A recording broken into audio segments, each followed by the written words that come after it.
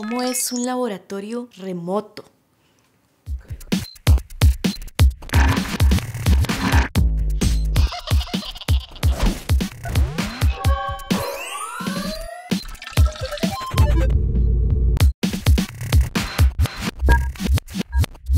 Hey, yo soy Susana y esto es Etcétera. Y hoy voy a compartirles datos random que aprendí en los cursos libres de la U. Tan random. Cuando jugamos algo y casi, casi ganamos, nuestro cerebro produce dopamina, al igual que si hubiéramos triunfado. Por eso nos enganchamos y lo volvemos a intentar. Vamos, vamos, Godzilla, no me falle. Vamos. Y a intentar una y otra vez. Y otra vez y muchas veces más. A esto se le conoce como el efecto near miss, o sea, el casi gano. Y funciona tan bien que se usa en muchos juegos de azar y videojuegos.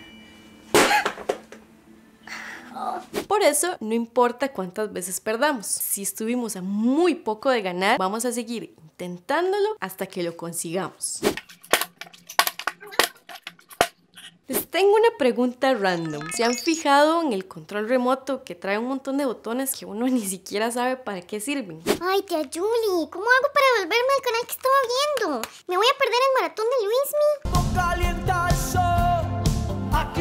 Lo que pasa es que, aunque no lo crean, los primeros controles remotos se hicieron para combatir la publicidad. Así, cuando saliera un anuncio, nosotros tuviéramos literalmente el control. Luego se descubrió que el control remoto podía servirnos para muchas otras cosas y hacernos la vida más cómoda. Hasta que llegaron el cable, el VHS, la televisión digital y todo se descontroló. ¿Entendieron? Se descontroló por el control. Y los fabricantes de controles remotos, en vez de rediseñarlos, lo que hicieron fue meterle más botones. Y hablando de controlar remotamente algo, ¿se imaginan si todo el mundo se pudiera manejar desde un control remoto? Digamos, como un laboratorio. Suena todo ciencia ficción, pero no lo es. No solo existen, sino que hay uno en Costa Rica.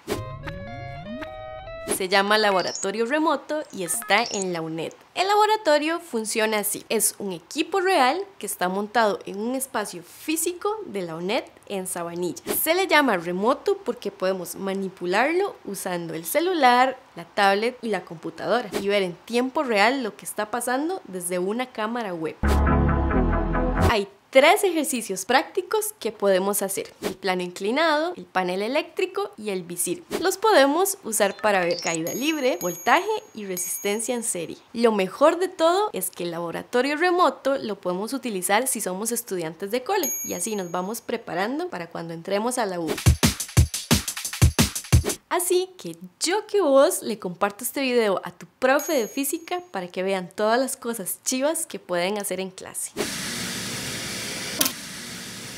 Además, el laboratorio remoto tiene muchas ventajas porque es fácil de usar y podemos usarlo en cualquier momento. Además, aprendemos mejor porque podemos repetir un ejercicio todas las veces que queramos hasta que nos salga bien. Por acá abajo les voy a dejar toda la información por si quieren saber más de este proyecto. Preparen sus palomitas porque en el próximo bloque les voy a decir cuál es la mejor fila para sentarse en el cine. Recuerden seguirnos en Instagram como somos Generación Z.